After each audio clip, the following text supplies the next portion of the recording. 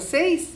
Espero que vocês estejam todos bem, utilizando máscara, lavando bem as mãos e cuidando das pessoas que vocês amam e cuidando de vocês também. Eu sou a professora Josiane e hoje estou aqui para mais uma aula de famílias e direitos humanos. O tema de nossa aula hoje é trabalho infantil. Vejam algumas imagens.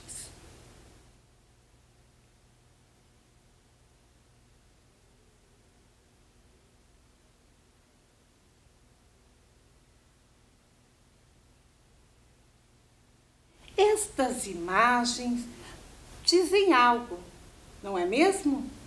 Tenho certeza que vocês já presenciaram muitas situações dessas. Então, vamos pensar o que é trabalho infantil. Trabalho infantil refere-se ao emprego de crianças em qualquer trabalho que priva-se da sua infância interfere na capacidade de frequentar a escola regularmente e é considerado mentalmente, fisicamente, socialmente ou moralmente perigoso e prejudicial. Trabalho infantil é toda forma de trabalho realizado por crianças e adolescentes abaixo da idade mínima permitida, 16 anos, e de acordo com a legislação de cada país. Mas a gente tem que ter uma observação aqui. Quando realizado na condição de aprendiz, é permitido a partir de 14 anos. No início de nossa aula de hoje, nós vimos algumas imagens referentes ao trabalho infantil. Quais outras formas de trabalho infantil que nós conhecemos e que você aí, estudante, conhece? Então agora eu vou dar um tempo para vocês para que a gente possa fazer uma atividade, certo? E vocês registrarem aí que outras formas de trabalho infantil que você conhece. Eu vou dar um tempo para que vocês escrevam aí no caderno ou numa folha sobre as formas, né? Essas formas que vocês conhecem de trabalho infantil. Vamos lá então? Até daqui a pouco.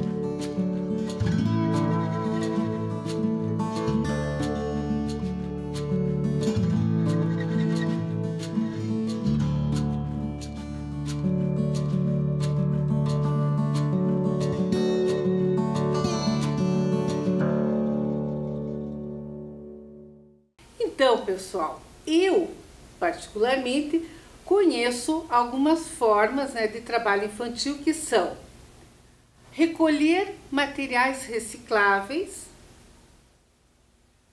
vender bala no sinaleiro,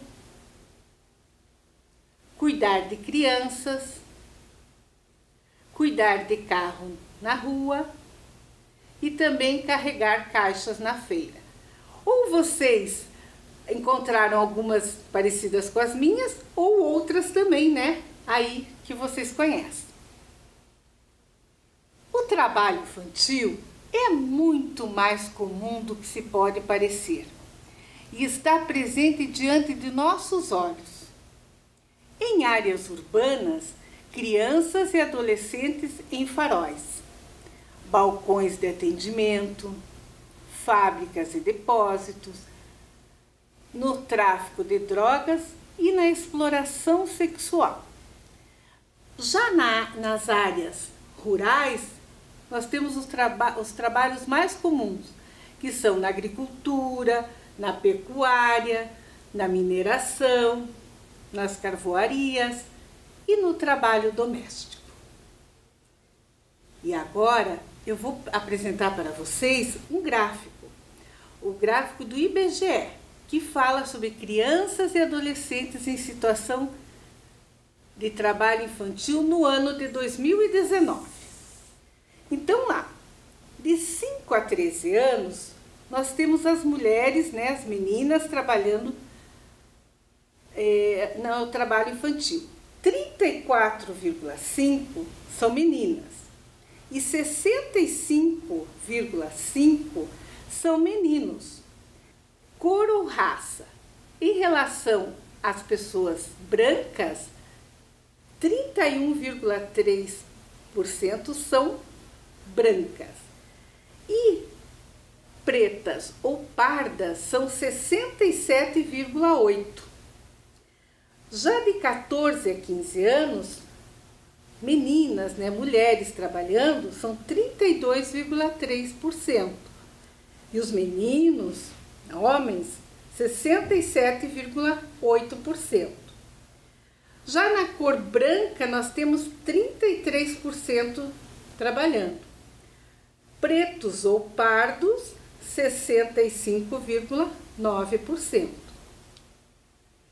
De 16 a 17 anos, mulheres 33,9%, homens 66,1%. Na cor branca, 33,2% trabalhando. E na cor ou, é, preta ou parda, 65,5%. E de onde vem a proibição do trabalho infantil? A Constituição Federal de 1988 estabelece a ideia de proteção integral e a criança passa a ser vista como um sujeito de direitos, que precisa ter as suas necessidades físicas, cognitivas, psicológicas, emocionais e sociais supridas. Em 1990 surge o ECA, o Estatuto da Criança e do Adolescente, que foi o resultado de um amplo debate democrático e se tornou o principal marco legal e regulatório dos direitos das crianças e dos adolescentes no Brasil. Em nossa aula hoje, vamos conhecer sobre os direitos e deveres do aprendiz. Para conhecermos esse assunto, vamos assistir um vídeo. Existe um velho jogo em que o jogador define na sorte a sua profissão, o que ele vai ser dali em diante: médico, advogado, engenheiro e diversos outros. Assim, ele prossegue todo o caminho na busca do sucesso e realização. Mas nós sabemos que para chegar lá, não é só contar com a sorte, é preciso enxergar além. É preciso, antes de mais nada, ter uma boa, uma excelente educação. E o Ministério Público do Trabalho, juntamente com órgãos competentes, enxerga bem ali, na infância, o comecinho de tudo.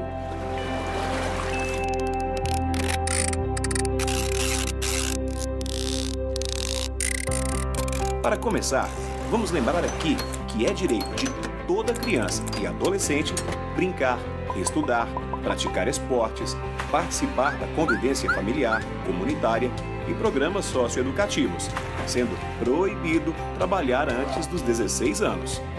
Reforçando, trabalhar antes dos 16 é contra a lei. A única exceção é que a partir dos 14 anos, e somente a partir dos 14 anos, o adolescente pode exercer determinadas atividades em uma empresa regularizada na condição de jovem aprendiz seguindo algumas regras como deverá estar estudando, aprendendo alguma profissão por meio de algum curso profissionalizante reconhecido pela lei, não trabalhar mais que seis horas por dia, deverá ser registrado em sua carteira de trabalho e no final do curso receberá um diploma. Ah, e para menores de 18 anos, fica proibido trabalhar em locais perigosos, que oferecem riscos à saúde e horários noturnos.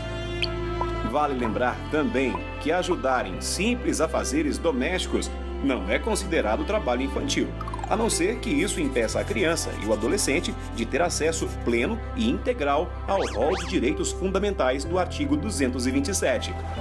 Dessa forma, a lei da aprendizagem combina educação e qualificação profissional, e o adolescente não precisa abandonar a escola pelo trabalho. Assim, é possível ter um futuro duplamente garantido. Meu nome é Bruno Ribeiro Araújo, tenho 16 anos. Meu nome é Victor Oliveira Braga, eu tenho 18 anos. Meu nome é Adriele, é a minha idade de 17 anos, faço o terceiro ano. Eu estudo na Escola Municipal Vovó Dulce, eu faço curso de auxiliar administrativo no Senai. Estou fazendo supletivo lá no ITEG, fazendo o curso de tarde de assistente administrativo. Acordo 5 horas da manhã para tomar banho, lanchar. Pego um ônibus 6 horas, vou pro curso. Do curso eu venho pra Japel, almoço aqui, começo a trabalhar. Saio daqui, o ônibus da empresa me deixar no terminal. Do terminal vou pra escola, da escola eu volto pra casa. Eu acordo 5h50. Aí eu arrumo, tomo banho, tomo café de manhã lá em casa. Chego aqui 7h20, almoço aqui, saio meio-dia, vou para o curso 1h30 que eu entro, fico até 5h30 lá. Eu trabalho na Incinera, tratamento Aí o meu cargo aqui é auxiliar de escritório, eu ajudo é, no financeiro, no, fa no faturamento. Trabalho na GPL, eu trabalho na área da expedição. Minha mãe falou que mudou, né? Agora eu tô virei né?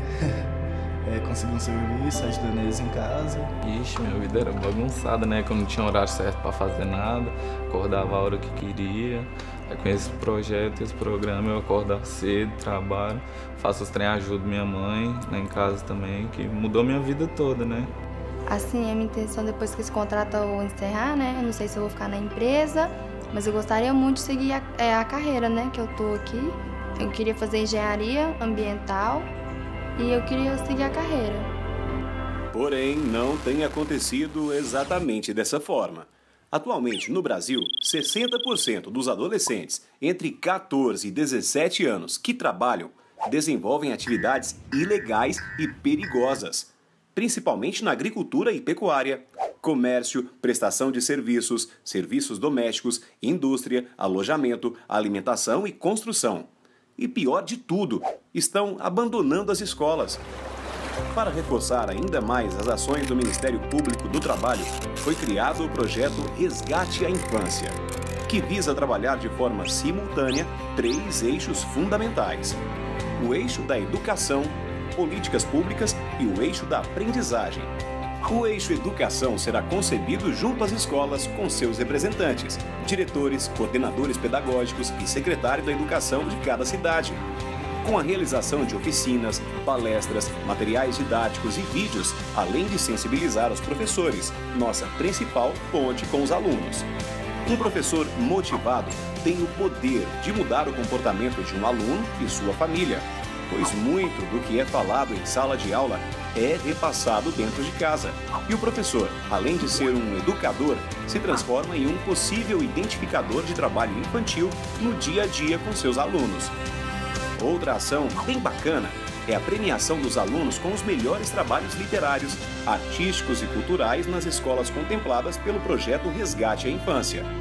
E junto com isso tudo, conscientizar os familiares, pois muito do que acontece hoje em dia é até mesmo uma questão cultural e familiar, que induz a prática do trabalho infantil, muitas vezes de forma involuntária.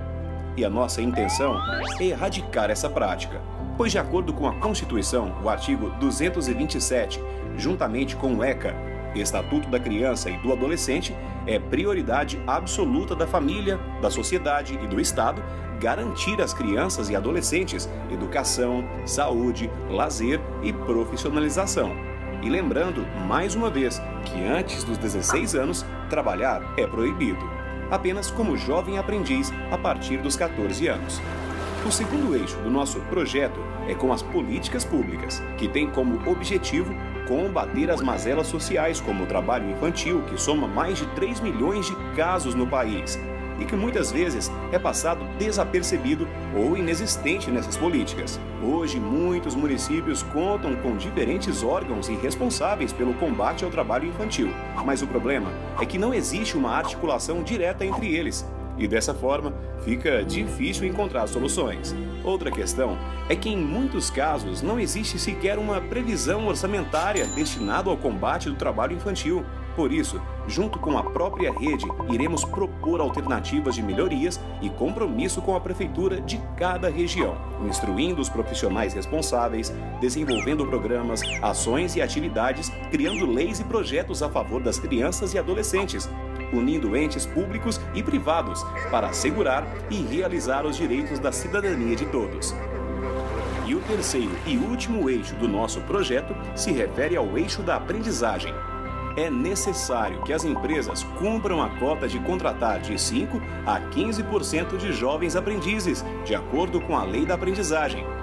Essa é uma lei, uma obrigatoriedade que muitas empresas enxergam de maneira negativa. O nosso papel é mostrar o inverso. É mostrar para os empresários que isso também pode ser muito bom para os negócios, pois dessa forma eles investem em aprendizes que futuramente poderão compor com experiência e competência o quadro de funcionários da empresa. Eu sou Ronaldo Tibes, representante do Polo Empresarial do Senador Canedo. Programas como esse valem a pena realmente, que é ter a oportunidade de tirar alguns meninos que teriam de repente baixa oportunidade de emprego que poderiam estar nas ruas, para que eles tenham, estejam dentro da indústria, aprendendo, buscando o futuro de forma legal, principalmente, e mais do que isso, construindo uma ponte ah, para a perspectiva de futuro da vida dele e de seus familiares. Hoje, esses jovens estando aqui há mais de três para quatro meses, eles têm desenvolvido de uma forma absurda o, o, o, volume de dedicação deles pela empresa. Né? São jovens que hoje nos surpreende, muitas das vezes ultrapassam o conhecimento de profissionais que temos dentro da indústria há mais de 10 anos. Hoje nós já temos jovens que iniciaram ah, ah, ah, em nossas empresas que iniciaram como jovem aprendiz e hoje cursam faculdade. E no final de tudo, esses três eixos trabalhando juntos fazem toda a diferença.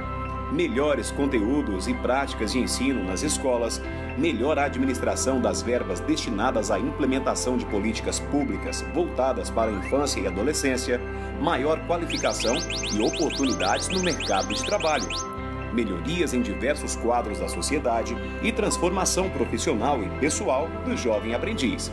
Resgate à infância. Como sempre, trabalhando pelos adolescentes e crianças de todo o país, melhorando assim a vida de todos no Brasil. Ministério Público do Trabalho. Espero que vocês tenham gostado do vídeo. Gostado mesmo, porque realmente esse vídeo é para vocês, estudantes aí do sexto ou nono ano, que acima de 14 anos, né? Então vamos ver agora sobre os direitos e deveres desse aprendiz. E quem pode ser aprendiz? O aprendiz é o adolescente ou o jovem entre 14 e 24 anos que esteja matriculado e frequentando a escola.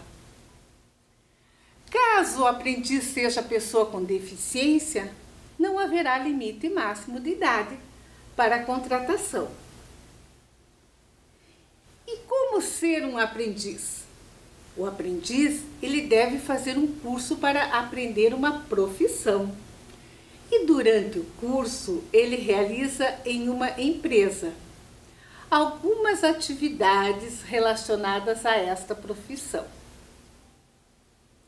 O aprendiz com mais de 14 anos realiza um contrato de aprendizagem, no qual terá qualificação profissional, aliando trabalho e educação. Talvez alguns de vocês nem conheciam isso, né? E o limite de idade para se trabalhar no Brasil? Até 14 anos, o trabalho é proibido realmente não pode trabalhar. De 14 a 16, o trabalho é proibido, porém, admite-se o trabalho como aprendiz. E de 16 a 18 anos, é uma permissão parcial. São proibidas as atividades noturnas, insalubres, perigosas e penosas. Conforme o decreto número 6481 de 2008, sobre as piores formas de trabalho infantil.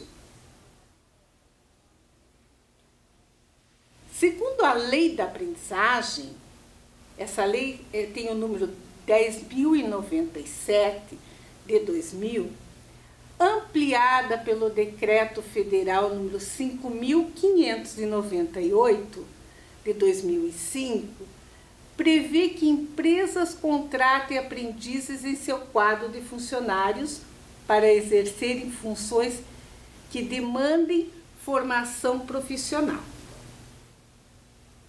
A Lei 10.097 de 2000 determina que o aprendiz contratado tem a carteira de trabalho assinada.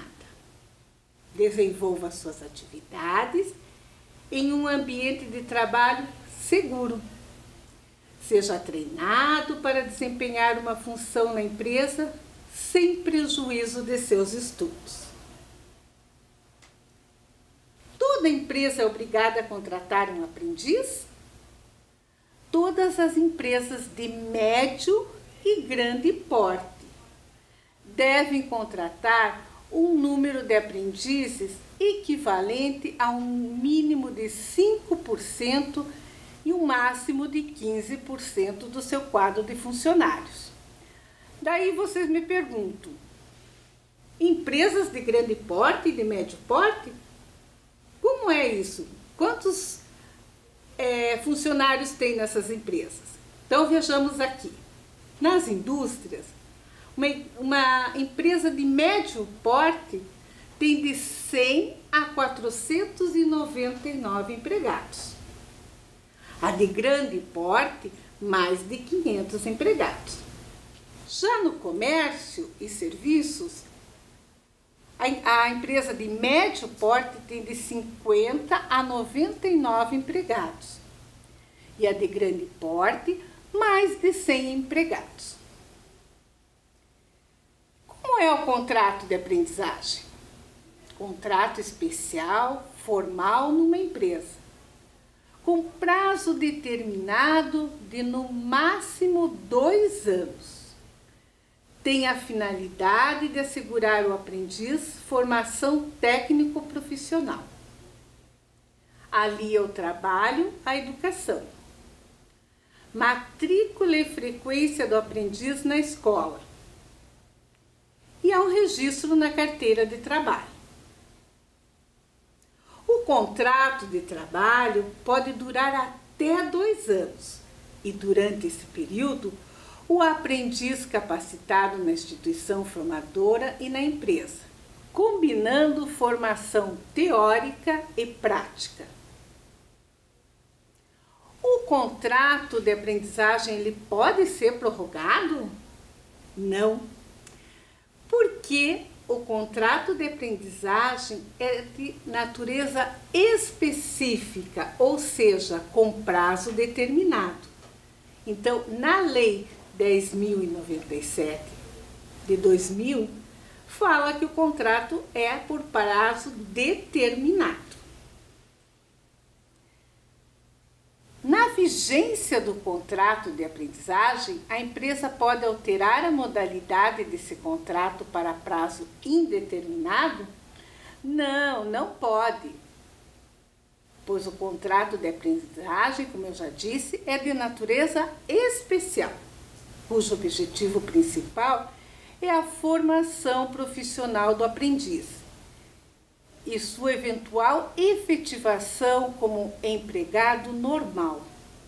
A quebra do contrato antes da conclusão do programa constitui rescisão antecipada do contrato de aprendizagem sem justa causa, sujeitando o empregador à autuação administrativa. Quais os direitos do aprendiz? Ah, sim, ele tem seus direitos. Ele tem direito à carteira de trabalho e previdência social assinada, contrato de trabalho especial, previdência social privada ou do Instituto Nacional do Seguro Social, que é o INSS, o Fundo de Garantia por Tempo de Serviço, o FGTS, o 13º salário, função compatível com aprendizagem, salário mínimo, matrícula e frequência escolar e o vale transporte. O aprendiz tem direito ao vale transporte? Sim, ele tem esse direito. Este benefício não deve ser apenas entre a residência do aprendiz e a empresa, e vice-versa. Ele deve incluir também o trajeto de deslocamento da instituição de ensino onde ele está cursando o programa. Algumas curiosidades sobre o aprendiz. Jornada de trabalho. Para aprendizes que estejam cursando até o nono ano do ensino fundamental, é no máximo de seis horas. Para aprendizes cursando o ensino médio, no máximo oito horas. O trabalho noturno ele é proibido para quem possui menos de 18 anos. O trabalho noturno ele é realizado das 22 horas às 5 horas da manhã. É proibida a realização de horas extras e a compensação de horas. Comprovante de conclusão do curso de aprendizagem. O aprendiz que tiver concluído com, um, com aproveitamento o curso de aprendizagem será concedido obrigatoriamente certificado de qualificação profissional. O aprendiz ele pode ser demitido? A lei prevê a possível quebra de contrato apenas em casos bem específicos como desempenho insuficiente, difícil adaptação ou ausência sem justificativa à escola que implique perda do ano letivo, se não houver completado o ensino médio. Importante destacar que o aprendiz menor de 18 anos terá direito a coincidir suas férias com as férias escolares. Enquanto que o aprendiz maior de 18 anos coincidirá suas férias laborais preferencialmente com as férias escolares. Algumas instituições qualificadas para ministrar cursos de aprendizagem. Tenho certeza que vocês já ouviram falar do Senai, do Senac, Senat. Então vamos ver o Serviço Nacional de Aprendizagem Industrial, o SENAI, oferta né, esse, os cursos. O Serviço Nacional de Aprendizagem Comercial, SENAC. Serviço Nacional de Aprendizagem Rural, SENAR. Serviço Nacional de Aprendizagem do Transporte, SENAT. E Serviço Nacional de Cooperativismo, SESCOP, Agora vamos para uma atividade. Vamos lá, respondendo verdadeiro ou falso aí no caderno de vocês. Vou dar um tempo para que vocês peguem né, novamente o caderno, uma folha, para resolver essa atividade. Vamos lá, pessoal?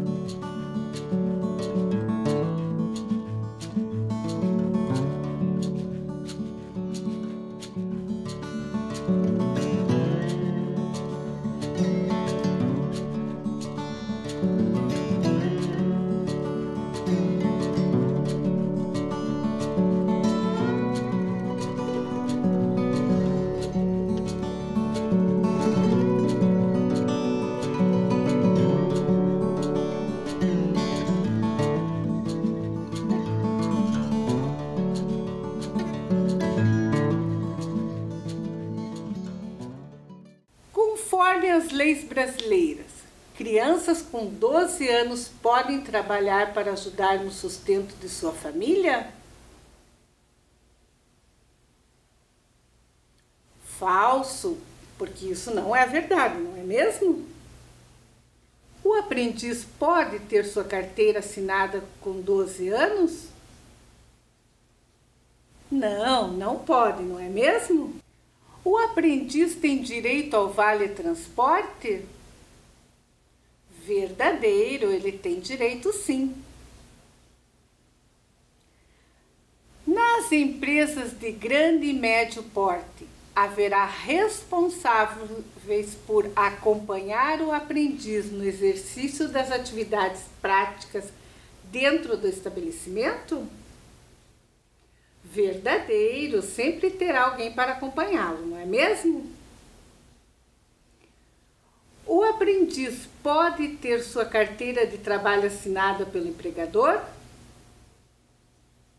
Verdadeiro, conforme a lei, isso se sucede, né? Conforme a lei de aprendizagem, o aprendiz tem direito ao 13º salário? Verdadeiro, exatamente. Ele tem direito ao 13º salário.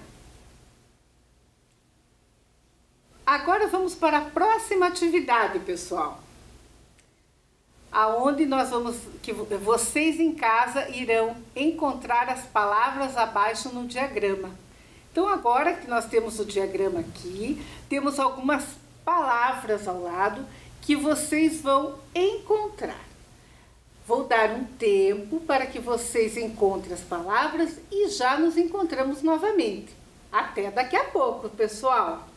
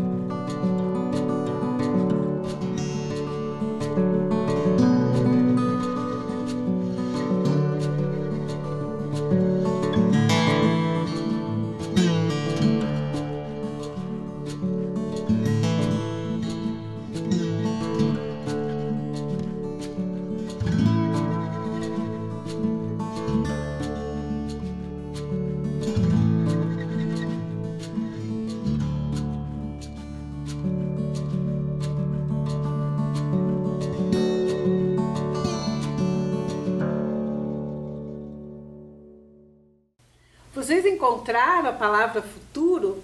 Vamos lá. Palavra futuro. A palavra sonhos. Agora a palavra trabalhar. A palavra estudar. A palavra mitos e a palavra crianças. Certo? Espero que vocês tenham encontrado todas as palavras com facilidade. Vamos lá, pessoal? O trabalho infantil é crime. E como ele é crime, ele deve ser denunciado. Portanto, vamos denunciar, não é mesmo? Os canais de denúncia que eu posso né, é, encontrar. O Nucria, aqui em Curitiba, no telefone 3270-3370. Os conselhos tutelares nas regionais. O Ministério Público do Trabalho. O Ministério Público.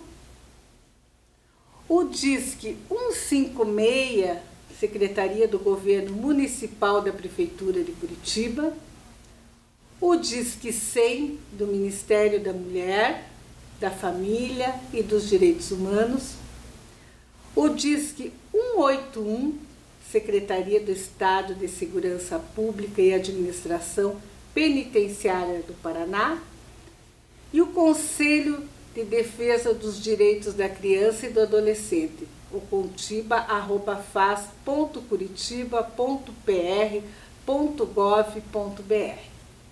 A aula de hoje está chegando ao fim. Tenho certeza que vocês gostaram muito desse tema. Que vocês nem imaginavam que existia uma lei tão importante para vocês, jovens, adolescentes, aprendizes, não é mesmo? Então deixo aqui um meu abraço e que vocês continuem se cuidando, né? cuidando de todos que estão perto de vocês, que vocês continuem utilizando máscara, higienizando as mãos e até a próxima aula de Famílias e Direitos Humanos. Um grande abraço.